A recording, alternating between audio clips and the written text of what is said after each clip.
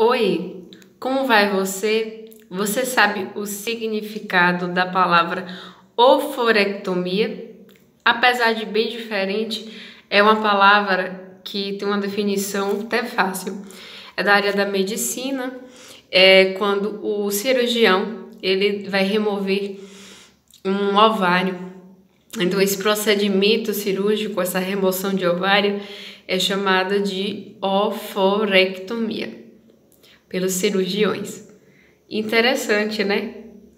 É, se você notou uma diferença, você, se você é meu seguidor e você está notando uma diferença nos meus olhos, é porque um tá normal e o outro tem uma nascida, que aí alguns chamam de terçol.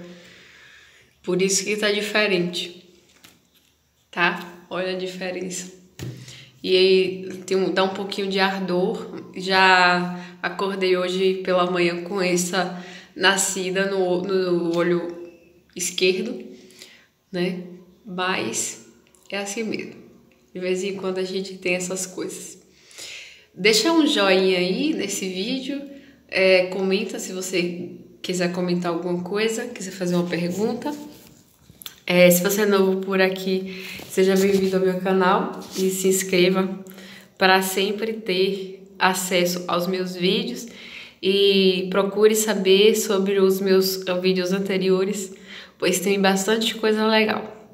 Essa foi a palavra do vídeo, olforectomia, e até a próxima palavrinha. Tchau!